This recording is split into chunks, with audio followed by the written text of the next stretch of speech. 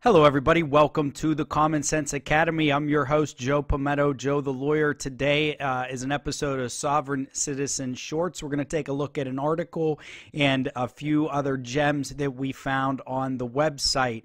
This is the Common Sense Academy. On this channel, we talk about sovereign citizens, First Amendment auditors, and people behaving badly. And we also have a little um, ritual that we do before we watch the video. We raise our cup our glass in the air and we do the same time sip because it tastes better when we sip together. Cheers. Also, if you like my content, please subscribe. Please share. Those are two free things you can do to support this show. Subscribe. I'm trying to get to 10,000 subscriptions. YouTube will give me a merchandise deck in, in cool features. Also, if you share my videos, it's the most powerful way for me to get my message out and get new subscribers. Thank you very much. So, we're going to look at this article Driver who declared independence from society loses legal battle over unpaid parking fine. Oh, really? He lost? What a surprise. The uh, only person who thought he was going to win was probably him. A self declared free spirit man, now that's a new one, everybody, that's a new one, who told South Australia's Supreme Court he is independent of society and lives free from law and government has lost a year long legal battle over a parking ticket. Boy, this needs to, maybe has to take the cake for the longest uh, parking ticket lawsuit ever. Timothy Noel Rossiter also argued he displayed a sign stating notice private property, no trespassing on his windscreen, and the inspector did not have permission to attach the ticket in question. so that's how you avoid a ticket. You put a notice on your windshield. Thank you, Timothy.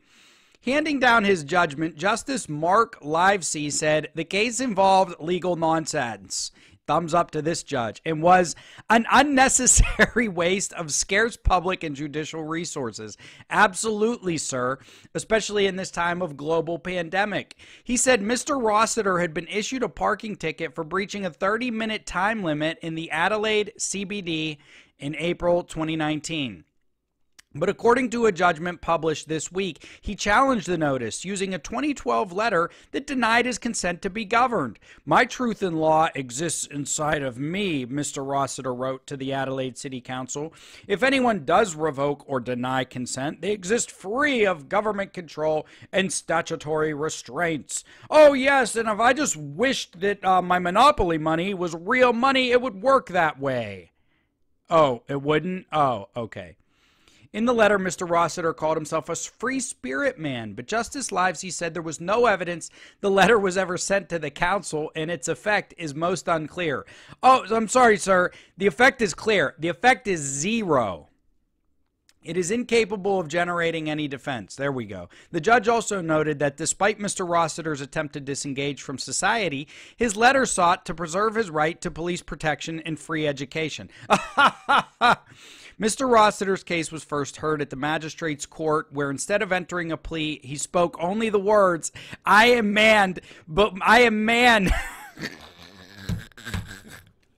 oh man, but was found guilty and fined more than $1,700. All 11 grounds of his Supreme Court appeal were dismissed by Justice Livesey, including the consent and trespass arguments, and he was fined a further $680. Man, they're hitting him for this judicial waste. The judge described Mr. Rossiter's case as without merit and based on various pseudo legal arguments. You nailed it, Judge. If he has acted on the advice of others, he is well advised to stop doing so. Yeah, he's acted on the advice of others. Internet idiots. His decision to defend has resulted in a trivial parking fine escalating to a financial burden exceeding $2,000. Although he probably cost the, the courts a lot more than just $2,000. So in the end, he probably uh, made off. And uh, the sad thing is, he's never going to pay that money.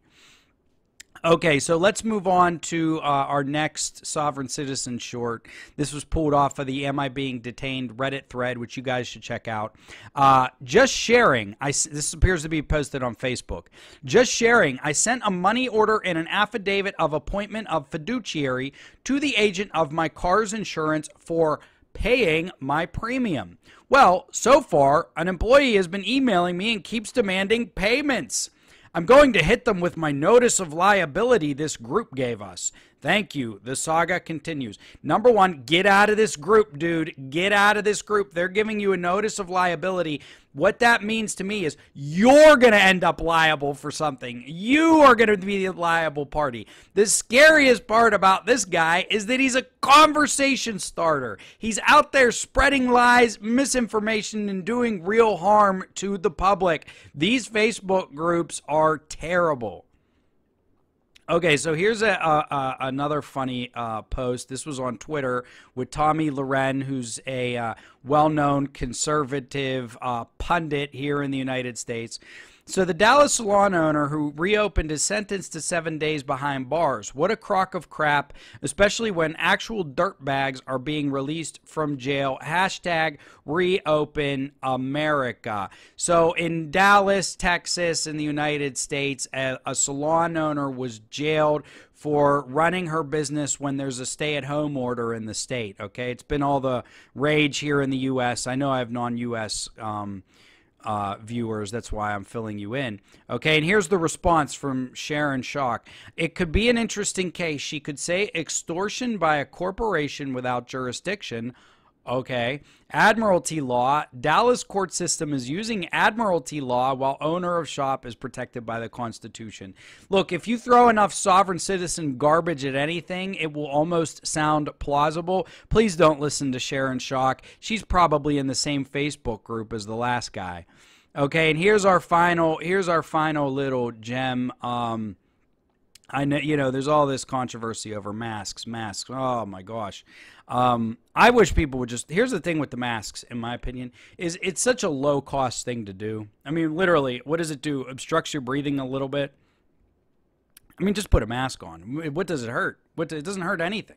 My freedoms. Okay, look, I'm I'm I I, I tend to you know I'm sort of a libertarian type guy, so I'm out there for your freedoms, but this is not a significant freedom that's being uh, infringed upon.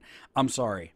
Okay, so I will not be masked, tested, tracked, chipped, or poisoned to support this orchestrated lie. This will not be my new normal. I do not consent. Guess what? Nobody really asked you for your consent on this issue. Nobody really asked you for it. This probably isn't a sovereign citizen, but you never know.